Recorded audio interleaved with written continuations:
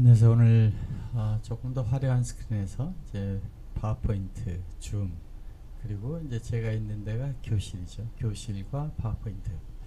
자, 이러한 방식으로 프레젠테이션을 교실에서 한다, 혹은 스튜디오에서 한다, 사무실에서 한다라고 봤을 때 에, 강의는 이제 더 이상 어느 공간, 특정 공간에서 특정 학생들에게만 하는 것이 아니라 자, 어디든지 우리가 누구든지 그런 강의를 볼 수 있게 되는 교실이 된다 그런 뜻입니다. 이렇게 앉아서 제가 이런 책상에 앉아서 아 이렇게 수업을 해도 되고 서서 책상 자리에 앉았다가 서서 일어나서 아무래도 서서 하면 조금 더 exposure가 편하게 되니까 그렇게 되면서 파워포인트를 가는 거죠.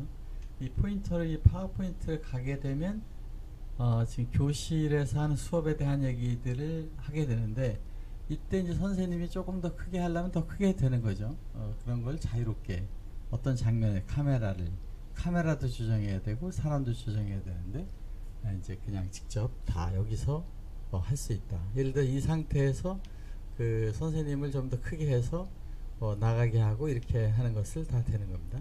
그 teach from anywhere to everywhere 이런 컨셉이죠. 줌이다. 뭐줌 외에도 이제 화상회의가 많이 있죠. 그걸 통해서 중요한 것은 그 플랫폼 5G, 4G 아프리카에도 네팔에도 부탄에도 어디든지 지금 이 전화기가 되면서 전 세계의 그 backbone망 이제 fiber optic 같은 걸로 이렇게 연결해서 다 연결이 돼. connected 세상이 됐을 때 교실의 개념. 어, 그동안은 학교에 가야만 가르치고 학교에 가야만 들었던 시대에서 이제는 선생님의 메시지를 어디서도 볼 수 있다라고 했을 때 교실은 다시 소위 그 우리가 얘기하는 디지털 transform 한 교실은 어떤 식으로 변화되는가에 대한 이제 뭐 간단한 내용입니다. 짧게 한번 제가 그냥 하던 내용들을 가지고 이 어떻게 teach를 어떻게 하고 또 listening 수업을 어떻게 하고 수업의 의미는 무엇이고 또 선생님 가르치는 내용들을 어떻게 봐야 되는가 하는 거를 이제 제가 한 손에 마이크를 잡고 한 손에는 파워포인트를 하면서 수업을 한다. 지금 저는 앞에 있는 앞에 있는 제 그 화면들 그 스크린 프로젝터 스크린 저를 보는 겁니다. 제가 저에게 가르치는 거죠. 어뭐 요즘 제가 불교 뭐 이런 거 보니까 참 아 뭐 여러 가지 자기 자신 부, 불심을 본다 그러는 거 하나님이 준 성령 같은 것인 것 같은데 어쨌든 이 선생님이 여기 나온다면 여기에 지금 제가 하고 있는 이 장면에 약간의 이 변화를 무리하게 줬습니다. 저기다 비행기도 띄우고 사과도 넣고 이렇게 해서 어 인트레스를 끄는 거죠. 동영상에 그 비주얼 이펙트를 줘서 조금 더 interest를 끊는데 여기 나오는 저 화면이 예, 훨씬 더 어, 몰입이 될 수 있다. 선생님이 있고 자료가 있으니까 몰입이 되는 거죠. 그럼 이것을 저는 flipped 거꾸로 뒤에서 가르치는 flipped teaching 크로마키에 있으면 더 좋고 없어도 상관이 없습니다만은 이렇게 해서 학생들이 여기서 질문을 이렇게 하고 여기 학생들이 나오고 원격지 학생도 나오고 이렇게 구성하는데 이 아이보드라는 건 여기 보시는 것처럼 두 개의 프로젝터로 edge blending을 해가지고 크게 해놓고 거기다가 다양한 컨텐츠를 소위 뭐 우리가 그 어, multiplexer 뭐 그 matrix switch 이런 걸 써서 하듯이 우리 아이보드 안에는 이런 그 matrix switch 기능들이 flexible하게 배치를 바꾸고 이 모니터마다 하는 게 아니라 그 공간 전체를 할 수 있는 아이보드로 넣어서 교실 크게 하는데 더 나아가서 여기까지 다 교실 전체를 아, 그렇게 바꾸자 하는 것이 이제 저희는 그 스크린을 하는데 때로는 인테리어를 그걸로 때로는 다른 교실의 원격도 하는 식으로 해서 선생님이 여기서 가르치면서 본인을 보게 되면 이것이 전체적으로 다른 교실에 똑같이 되니까 우리는 VR 교실이라는 걸 만들 수 있게 된다. 이제 그런 개념이 되고 여기 건 아이데스크 지금 제가 쓰고 있는 이 아이데스크를 어, 놓거나 아이 스탠드를 놓거나 해서 가르치면 이것이 어디든지 나가게 되는 소위 예, 그 강의실의 DX 트랜스폼이 된다 그런 겁니다. 그래서 제가 이제 그 교실들을 여기서 가르치든 여기서 가르치든 이 스크린 앞에 선생님 나오는 랜덤 하면 학생들 이 벽에는 다른 교실 이런 게 다 되게 할 수 있는 아이보드와 어, 소위 그 어, 아이데스크 그리고 이제 그 어, 원격 화상 회의가 되는 것들을 연결하는데 단지 이게 많은 교실에 여기다 연결하게 되면은 줌에서는 이제 에, 한 account밖에 안 되잖아요. 그래서 아이스 미트라는 거 가지고 이제 나중에 설명드리겠지만 클라우드에서 한다. 그 제가 이 어느 의료 회사에 이제 저희 사무실에서 지금 이 화면에 보이는 겁니다. 이렇게 보이면은 거기 계신 분들이 전부 이 보시는 분들의 눈이 이게 다 위를 본다는 거예요. eye contact이 되고 교실에 지금 학생들이 이렇게 그, 그 밑에를 보거나 우리 컨퍼런스 때 가면 자료 쳐다보고 있죠. 그렇게 하는 것을 이제 변화시키는 것을 이제 만들어 보자 하는 것이 제 생각이고 그런 건 이제 그 캐리스에서 하는 이제 이 요거는 그 서울예대에서 하는 장면을 보인 거고 뭐 그 시범으로 한 겁니다. 지금 세팅이 다 돼 있지만 여기는 어 기원대학에서 이제 여러 총장님 뭐 그 KERIS 그 원장님을 원격으로 하고 이런 것들을 다 이런 중계 방식으로 했을 때에 그 동안에 이제 이렇게 원격지에서 하시는 분이나 iStudio 데스크가 있어서 어, 비대면 대면 하이브리드 하는 것이 이미 됐다. 이때 이제 코로나 때문에 이렇게 했지만 지금은 교실에서 이렇게 해야 될 필요가 있다. 그런 이제 내용인 거죠.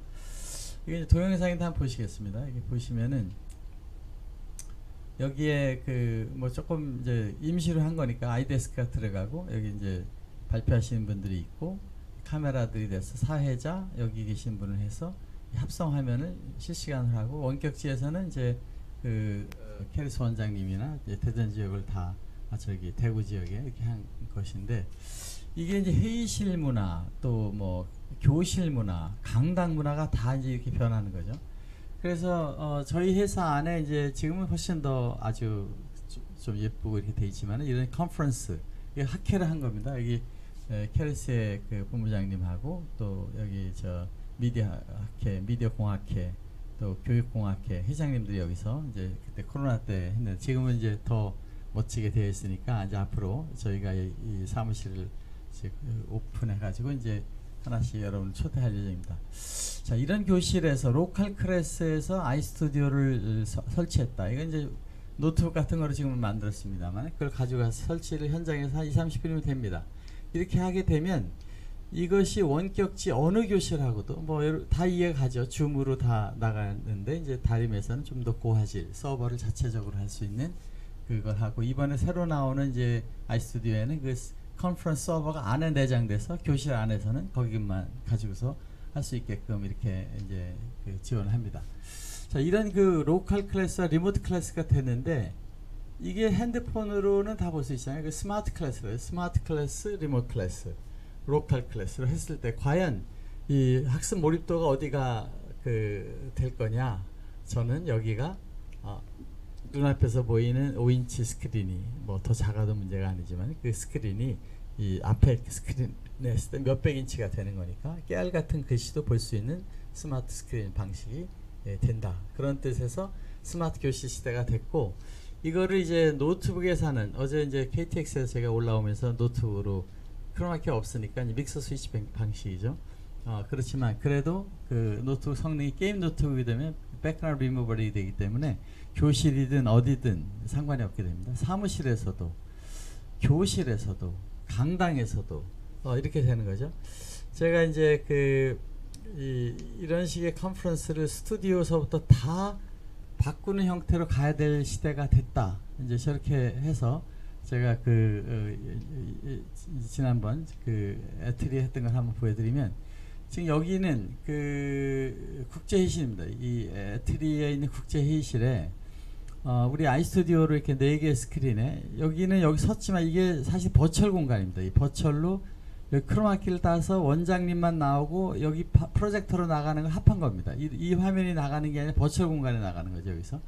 그리고 여기에 이제 외부 지역의 그 에트리의 지역 지사들은 어, 지역 연구소죠. 광주 이런 데 있는 팀들이 들어오고 질, 질의응답 하시면 여기다 켜주고 그리고 이, 이 ETRI 안에 임원님들은 여기 계시고 그 계신 분들은 다 핸드폰하고 노트북으로 내부망 ETRI에 있는 방송망을 통해서 어, 2,500명의 직원들에게 다 방송이 되는 하이브리드 교, 이 소위 강당이죠. 여기도 보이고 저거도 보이고 학생들 보는데 이제 질의응답을 이 핸드폰으로 보시는 분들은 이제 맞고 여기 그 어, 특정 부분에 계신 분들은 질의응답을 해서 이 공간이 이 공간이 열린 음악회 무대처럼 돼서 모두가 되는 그런 것들을 보인 예, 그런 이제 거였습니다.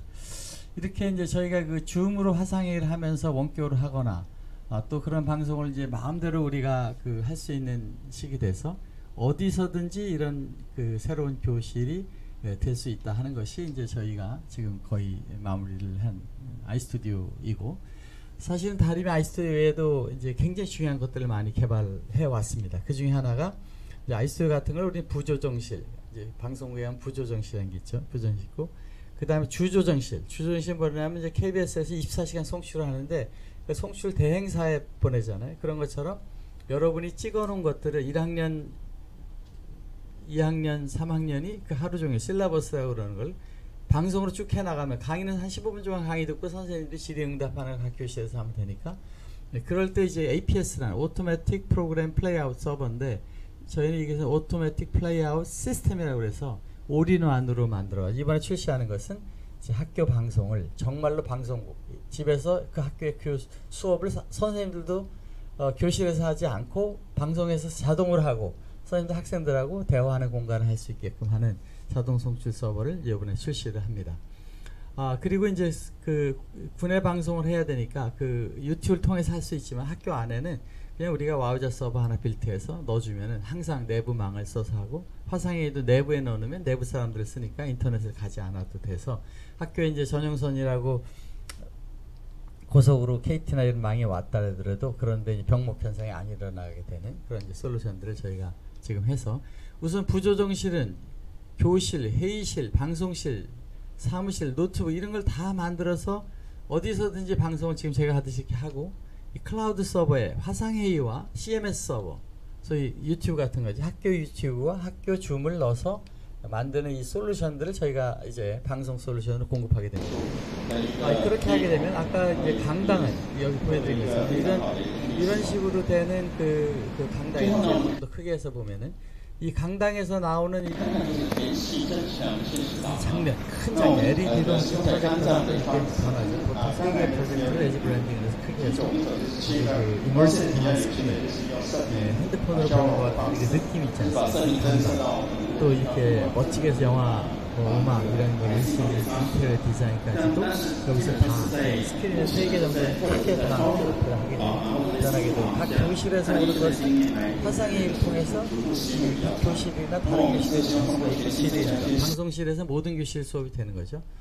그렇게 끝난 강의들은 이제 구글 클래스 같은 아, 그 LMS에 넣어가지고 학생들이 교실 강의를 만약 제가 지금 여기서 하는 이 강의가 이제 이 LMS에 올라가고 CMS는 유튜브니까 유튜브, 줌 어, 이것은 학교 LMS 이렇게 보면 되는데 이제 구글 클래스나 이런 것이 LMS를 넣어서 하는 거는 동영상으로 강의가 만약에 대치될 수 있다면 여러분 지금 보시는 이, 이 화면 여기서 지금 이제 제가 만약에 뭐 이런 이렇게 조금 더 선생님이 몰입되는 데서 하게 되면 그 강의 이 강의를 스마트폰으로 보는 학생은 동시 눈 맞춤이 되니까 제가 여기서 한 영상이 유튜브로 여러분 볼때 동시 눈 맞춤이 되잖아요. 저 뒤에다 막 이렇게 돌아가는 걸 했는데 이런 그림을 저희가 다 선생님들이 쉽게 할 수 있게 만드는 아이스 7000을 쓰게 되면 같은 영상 이 영상이 앞으로 이제 뭐 몇만 회가 갈지 모르지만은 뭐 지금이야 뭐 10명, 20명 보지만 앞으로 이제 더 많이 될지도 모르잖아요. 그렇게 되는 강의 하나를 만들더라도